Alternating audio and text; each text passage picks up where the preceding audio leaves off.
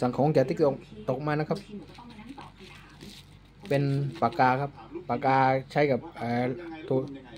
โทรศัพท์นะครับ เดี๋ยวมาดูกันครับ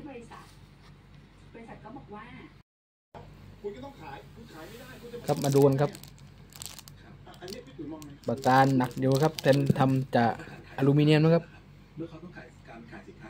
ใช้ได้เลยครับซื้อว่าซื้อของแล้วคุณต้องไปมีหน้าที่ขายเองมันไม่ได้เป็นที่เปิด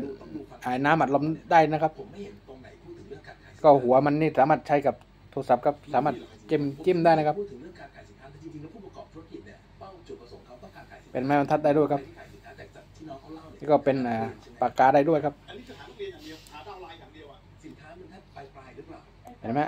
เป็นปากกาได้ครับเขามีการสอนขายสินค้าชัดเจนครับมีแต่ว่า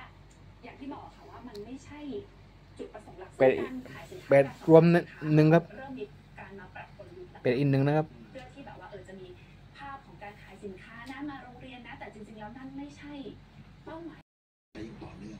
อย่างเงี้ยครับเขาเรียกว่าในไขควงได้นะครับอืมแต่ที่น้องเขาเล่ามาปุ๊บเนี่ยนี่ครับหัวเนี่ยไขควงครับ